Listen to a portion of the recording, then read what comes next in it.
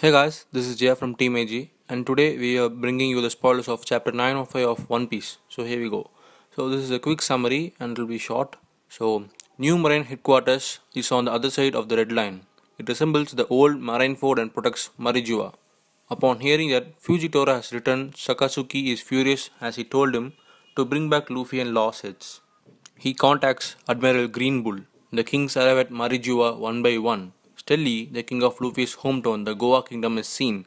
Sabo infiltrates the venue dressed as a Goa kingdom soldier. Green Bull is nothing but a Silhouette. So that's it guys, that's about the spoilers of One Piece chapter 905. So if you like this video, please like, comment and share this video with your friends and subscribe to our channel for more content. Peace.